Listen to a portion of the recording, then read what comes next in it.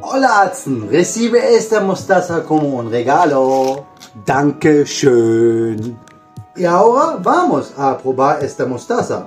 Pero primero, ¿cuál es el palabra alemana para mostaza? Escribe en los comentarios.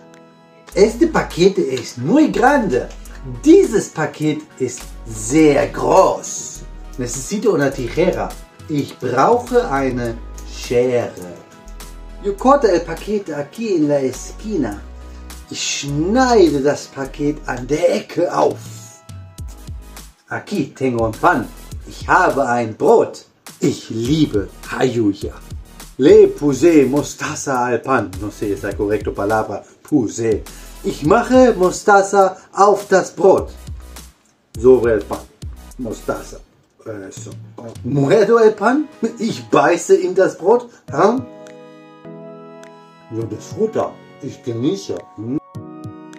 El resultado. Das Resultat. Me encanta eso mostaza. Ich liebe diesen mostaza. ¿Cómo se llama en alemán? Escriba en los comentarios. Pero sí, muchísimas gracias por ese regalo. Eso es mostaza picante.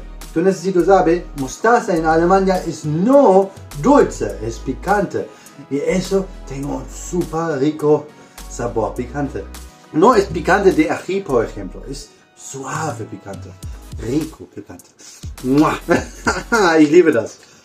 Otra vez, super rica. La mostaza es en ese vaso ahora mejor para el refrigerador.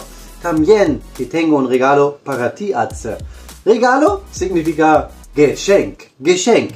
Mira, láminas para ti. ¿ah? Láminas con el Atze. Atze, grande hermano, grande amigo. Eso es para ti. Gracias. Schmeckt nach Heimat.